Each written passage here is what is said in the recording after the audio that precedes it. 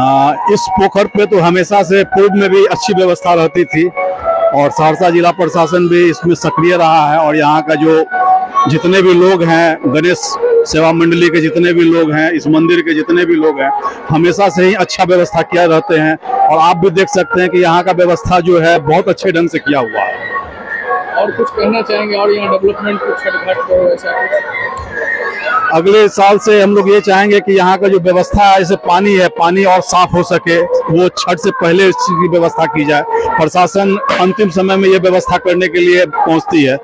वो कुछ पहले से इस चीज़ की व्यवस्था करे कि यहाँ का पानी साफ़ हो पाए। विकास कुमार गुप्ता। नमस्कार, स्वागत है आपका नज़रिया न्यूज़ में। मैं हूँ आपके साथ मोहम्मद अजहरुद्दीन। लोक आस्था का महापर्व, छठ पूजा में आज डूबते हुए सूर्य को अर्घ दिया जाएगा।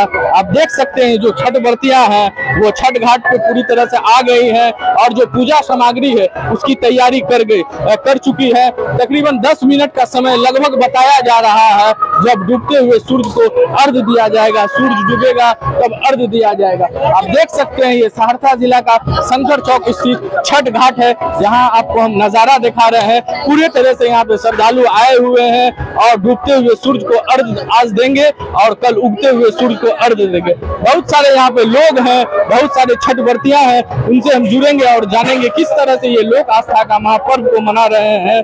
हम जुड़ते हैं पहले एक युवा है उनसे, बताइए किस तरह से आप छठ त्योहार यहाँ पे मना रहे हैं? देखिए, हमारा ये कोसी नहीं, पूरा बिहार का मेन पर्व है हमारा छठ पूजा। हिंदू का सबसे महत्वपूर्ण पर्व है छठ पूजा।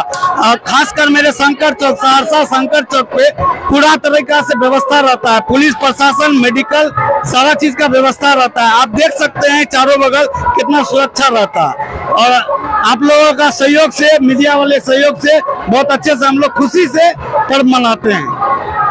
आप देख सकते हैं, ये बता रहे हैं कि जिला प्रशासन के द्वारा भी तैयारी पूरी तरह से की गई है और यहाँ पे छठ व्रतियाँ भी हैं जो 36 घंटे का निर्जला व्रत रख करके यहाँ छठ घाट पे है, जो सूर्य भगवान की ओर देख रही है कि सूर्य भगवान जब डूबेगा तो जो भी आस्था के के साथ जो किया जाता है काम, वो काम किया जाएगा। हम जुड़ते हैं। बताइए, किस तरह से आप लोग छठ पूजा मना रहे हैं? बहुत अच्छा से मना रहे हैं। क्या कहिएगा?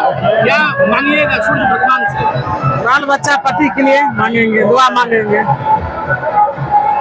तो ये बता रही हैं कि समाज और हम अपने बाल बच्चे के लिए दुआ मांगेंगे कि बाल बच्चे बढ़िया से पढ़े। यहाँ पे और भी छठ व्रतियाँ हैं उनसे हम जुड़ते हैं। क्या मांगना है सूर्य भगवान? बाले बच्चा लिए मांगते हैं बढ़िया से अंग से मांग अच्छा रखे बढ़िया दिमाग बुद्धि दीजिए।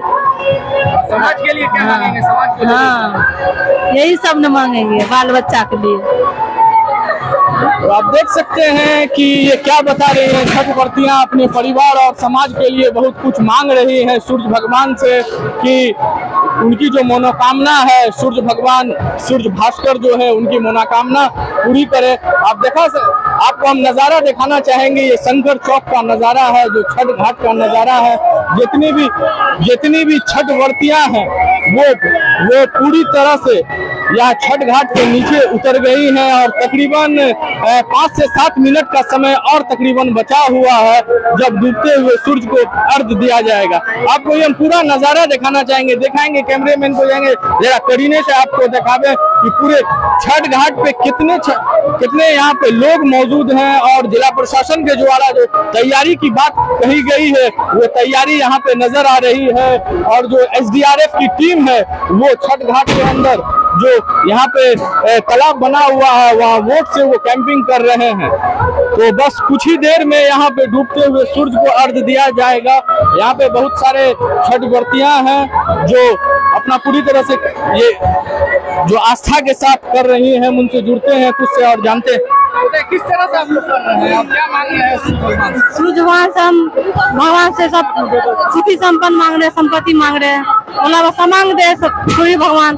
यही मांग रहे हैं, पूरा संपत्ति बाल बच्चा को, सबको बाल बच्चा को रक्षा करे। सूर्य भगवान।